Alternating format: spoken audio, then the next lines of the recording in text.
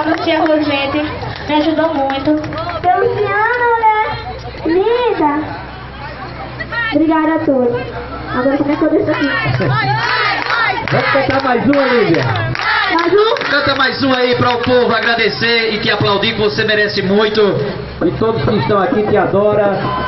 E já tem o seu fã-clube aqui na nossa cidade de Pato, com certeza.